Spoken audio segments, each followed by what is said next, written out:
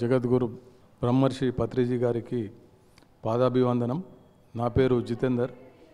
నేను two thousand ఫిఫ్టీన్లో మరి మెడిటేషన్లకు రావడం జరిగింది. ఈ నరేందర్ సార్ వాళ్ళ బ్రదర్ ద్వారా రామకృష్ణ అని వాళ్ళ బ్రదర్ ఉంటాడు. అతని ద్వారా మరి మెడిటేషన్ పరిచయం అయింది. అంతకుముందు మెడిటేషన్ కాకన్నా పరిచయం కాకన్నా ముందు నా లైఫ్ వేరే విధంగా ఉండే. దాని తర్వాత చాలా మార్పులు సంభవించినాయి నా జీవితంలో కూడా. మరి నేను మెడిటేషన్ అంటే ఓన్లీ ఆరోగ్యానికి సహకరిస్తుందేమో అనుకున్నా కానీ మెడిటేషన్ అంటే ఇది మన జీవితంలో ఒక భాగము. చేసుకుంటే మరి మన ఏవైతే కార్యక్రమాలు ఉంటాయో మరి హెల్త్ పరంగా కానీ మానసిక ఒత్తిడి కానీ మరి మిగతా విషయాలలో మనకు పరిపక్వత వస్తుంది. మొదట మనం మెడిటేషన్లోకి వచ్చిన తర్వాత మన కంటి చూపు మారుతుంది మన నడవడిక మారుతుంది మనలో చాలా మార్పులు సంభవిస్తాయి. అదేవిధంగా ఎన్నెన్నో మిరాకిల్స్ జరుగుతాయి.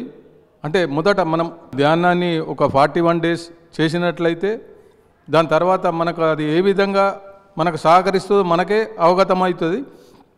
కావున మనము ఒక ఫార్టీ వన్ డేస్ వరకు దీన్ని ఒక మండల దీక్ష అనుకొని ఒక చేసినట్లయితే దాని తర్వాత మనకు ఏ విధంగా మెడిటేషన్ ఏ విధంగా ఉంటుందో మనకు కొంచెం కొంచెం అవగతం అవుతున్నది నా జీవితంలో మెడిటేషన్లకు వచ్చిన తర్వాత మరి ఫార్టీ వన్ డేస్ చేసిన తర్వాత కొన్ని చిన్న చిన్న మిరాకిల్స్ నుంచి పెద్ద మిరాకిల్స్ వరకు అద్భుతాలు జరిగినాయి.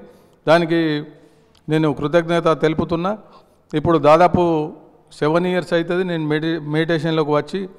మరి నాకు వీలైనంత అప్పుడప్పుడు టైం దొరికితే ధ్యాన ప్రచారానికి కూడా వెళ్తున్నా. దాదాపు మెడిటేషన్లకు రాకముందు నేను మరి ఒకటి అనారోగ్య సమస్యల వల్ల ఆసుపత్రి పాలైన దాని తర్వాత డాక్టర్స్ ఇక్కడికి వచ్చిన తర్వాత డాక్టర్స్ నువ్వు కోలుకోవాలంటే టూ ఇయర్స్ పడుతుంది అని చెప్పిండ్రు కానీ మెడిటేషన్ ద్వారా నేను ఒక త్రీ ఫోర్ మంత్స్లోనే క్యూర్ అయినా. దీనికి మెడిటేషన్కు మరి ధన్యవాదాలు తెలుపుతున్నా. ముఖ్యంగా నాకు పరిచయం చేసిన మిత్రులకు ధన్యవా మరి మరి ధన్యవాదాలు తెలుపుతున్నా. మరి మంత్లీలో ఒక ట్వంటీ ట్వంటీ డేస్ వరకు ధ్యాన ప్రచార కార్యక్రమాల్లో మరి అప్పటి నుండి కూడా ఇప్పటి వరకు కూడా నిరంతరం నేను పాల్గొంటున్నా. జై హో పత్రిజీ. అహింసా జగతే సాధించి.